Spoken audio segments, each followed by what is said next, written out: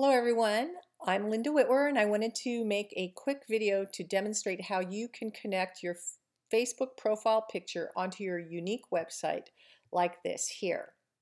That way when people come to your website they can actually see your face right here and not just a gray profile that they can't recognize. It just makes it easier for them to find your website. So the first thing you want to do is come over to my office right here and the drop down menu, come down to My Social Sites, which is right here. Click on that. And this is going to take you to where you can link any of your social sites to your Younique website. So you can plug in everything. That way, um, anytime anyone comes to your website, they can see your information so they can find you on the other social media. Now you want to open another tab in your browser.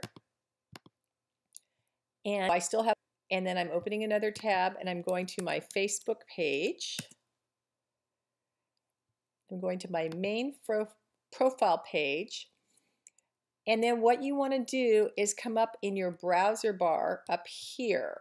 Make sure you do not go to your Facebook search bar, which is here. Come up into your browser bar and you can see the first part says uh, https forward slash www.facebook.com and then again forward slash or forward slash. All you need to do is highlight everything after the last forward slash and copy it like this. Okay. Then what you want to do is go back over to your website and under My Social Connections where there's Facebook, it Younique has already plugged in facebook.com forward slash. So all you need to do is paste in the rest of your name from your Facebook website. And you can do the same for all of the various social media accounts that you have and then just click save my information and that will connect your site. So like I said before, this will allow people to find your social media sites through your Younique website. And once you update it, it should also show your Facebook profile picture here.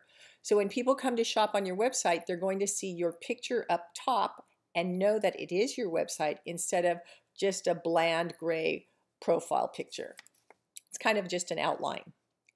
Um, this should solve it for you. If for any reason you are not able to connect your Facebook account to your Younique website, um, you can always message support through your website by right here, customer support, by either live chat or email, and they will take care of getting everything linked together for you.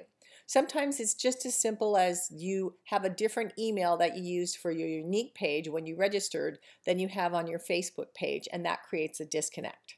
So I hope you found this helpful. And if you have any questions, um, by all means, see your sponsor, support, or you can message me. Thank you, and we'll see you real soon.